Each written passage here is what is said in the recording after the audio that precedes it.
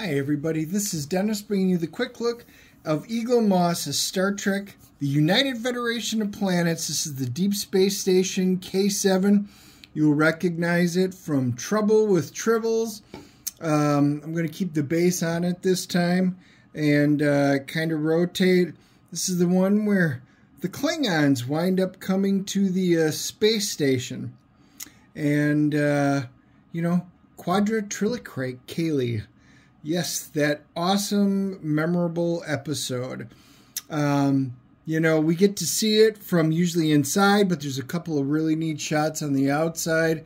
And uh, the detail work on this is pretty good. I'm going to show you like uh, inside the uh, the shuttle bay um, where the ships can go in and out. But guys, this one's a little bit different. Uh, not just one of the regular ships. Thought you would enjoy this. Smash the like and subscribe button.